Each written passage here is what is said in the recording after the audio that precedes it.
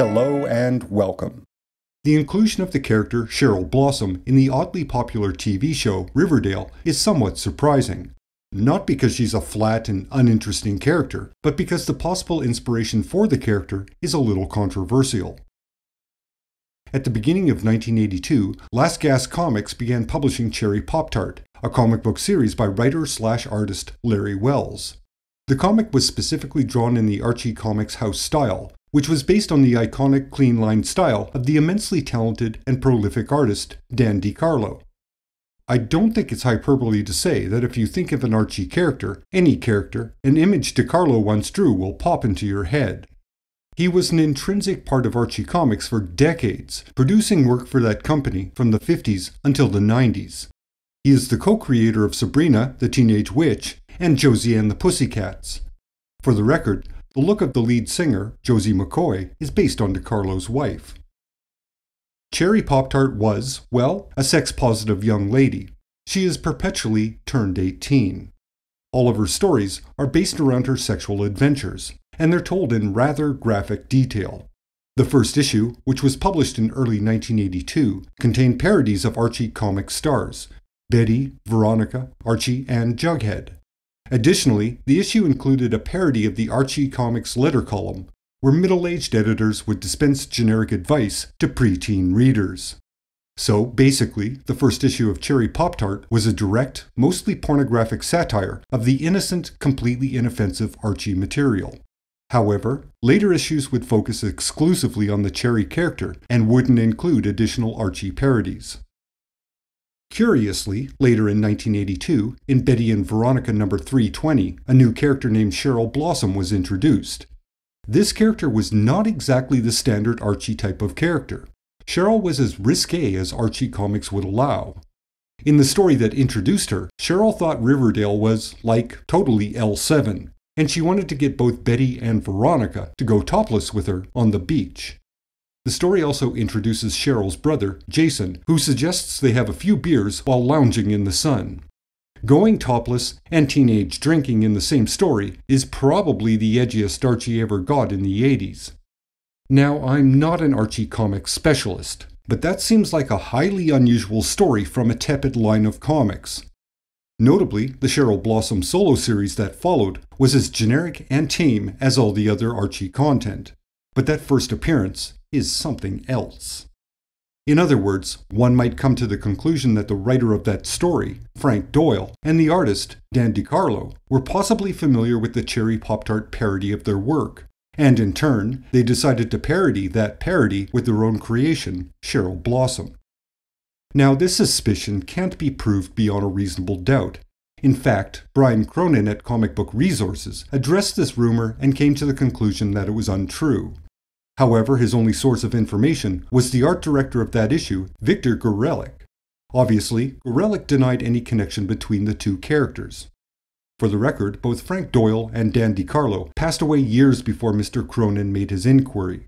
After searching for interviews with Doyle and DeCarlo, I could find nothing concerning Cherry Pop Tart.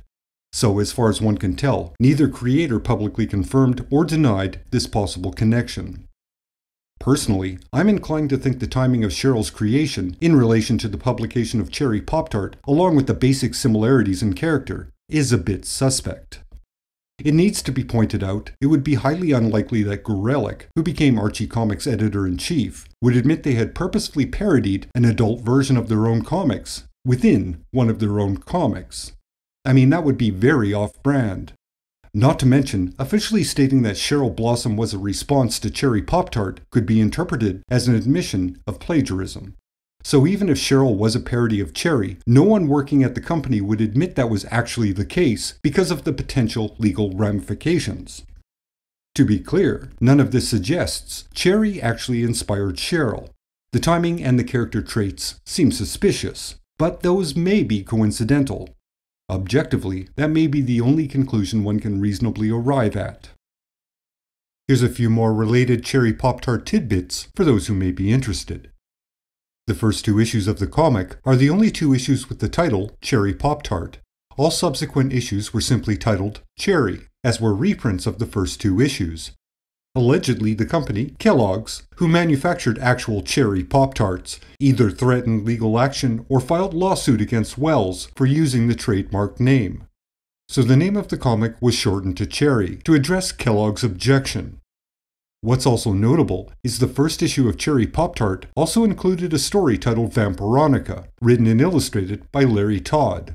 This Vampironica story was removed from later printings of Cherry Pop Tart to avoid any legal hassle from Archie. After all, this story stars thinly veiled versions of the main Archie cast doing very, very adult activities. To be clear, there was never a lawsuit from Archie. Possibly due to legal troubles with Kellogg's, Welz decided to edit out the Vampironica story just in case Archie started to feel litigious. Ironically, in 2018, Archie's horror imprint would publish a comic using that name. Finally, Neil Gaiman wrote a story for Cherry Deluxe in 1998. The story involves an angel and a demon arguing over who gets to claim a soul. They decide to have a sex contest to determine the outcome. And that's about all the details I can give. It's a charming little romp with a very Gaiman conclusion. In fact, that somewhat applies to the entire Cherry series. It's a fun romp that's more than a little gratuitous. It also contains some questionable elements, and it did challenge some taboos. But that's to be expected from an underground comic. Cherry is like a relic from the 60s counterculture movement, one that somehow survived the 80s and the 90s, and remained somewhat contemporary. Each issue feels like a time capsule of subversive attitudes and sexuality. It's definitely a series from a different time.